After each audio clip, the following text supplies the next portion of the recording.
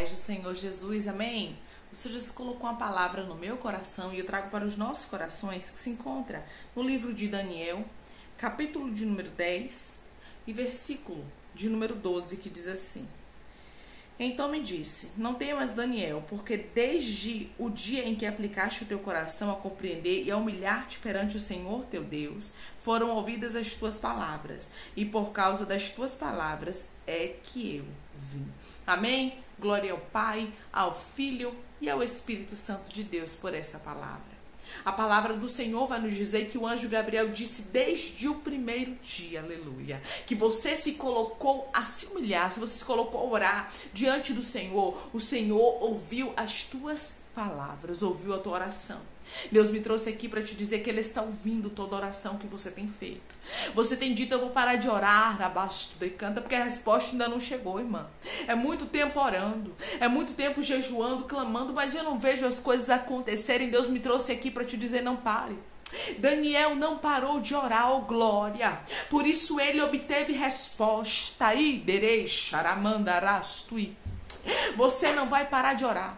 Por isso você vai obter resposta, tua casa vai obter resposta. Aleluia, esse cenário contrário vai mudar. Por quê? Porque pessoas aqui não vão parar de orar. A palavra do Senhor nos diz que o anjo deixa bem claro para ele, desde o primeiro dia que você se colocou a orar. A tua oração foi iderei xarabás, tua ouvida. Deus te ouviu. Deus me trouxe aqui para te dizer que Ele está te ouvindo, Ele está te contemplando. Como chegou resposta de oração para a vida de Daniel, aleluia. Como chegou resposta de oração para a vida de Ana, arastui. Está chegando também resposta de oração para a tua vida. Está chegando também resposta de oração para a tua casa. Está chegando também resposta de oração para a vida dos teus, aleluia. É tempo de resposta de oração. Porque o nosso Deus ainda ouve oração e responde, aleluia. Deus também falou para Zacarias, o anjo disse para ele: A tua oração foi ouvida, Isabel, tua mulher vai dar luz um filho. Ou seja, Deus não descarta oração, aleluia. Tem um louvor que eu gosto muito desde que eu era criança. Esse louvor já existia e eu louvava ele. Que diz assim: Deus não rejeita a oração. Oração é alimento. Nunca vi um justo sem resposta ou ficar no sofrimento. Ou seja, aleluia, Deus não vai rejeitar, Deus não está rejeitando, Deus não rejeitou a tua oração. Por isso continue orando, por isso continue buscando, por isso continue entregando na mão do Senhor, porque Ele me trouxe aqui para te dizer que Ele está ouvindo a tua oração. Ele está ouvindo o teu clamor. Ele está vendo o teu gemido, gemido da tua alma, porque ele não rejeita a tua oração. Porque Deus respondeu Ana, aleluia, depois quando ela gritava, não. Quando ela murmurava, não. Quando Ana orava, abaixo de canta.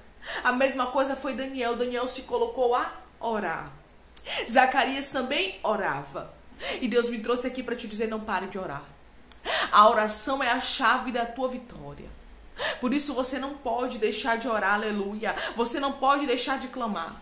Você não pode deixar abaixo do canta de pedir, de invocar o nome do Senhor, aleluia. De dizer a Deus o quanto Ele é iderecharabasto e poderoso, o quanto Ele é grande, aleluia. E o quanto você, aleluia, o adora e o engrandece em meio a essa situação difícil. Porque Daniel estava diante de uma situação difícil. Ana estava diante de uma situação difícil, Zacarias estava diante de uma situação difícil. Todos eles estavam cercados de impossibilidades, de dores, de sofrimento, mas mesmo assim ele, eles nos ensinam o quê? A não deixar de orar. A irmã tá doendo, eu não vou orar mais. Pois é, quando dói é que você tem que orar mesmo.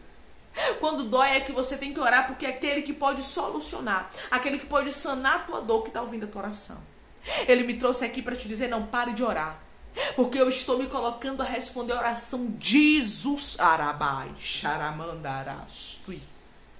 Diz o Senhor. Deus se coloca a responder a oração de pessoas aqui. De uma forma sobrenatural. Deus responde as tuas orações e alegra o teu coração, diz o Senhor. Que Deus continue te abençoando, não pare de orar, porque tem resposta de oração chegando. Deus te abençoe.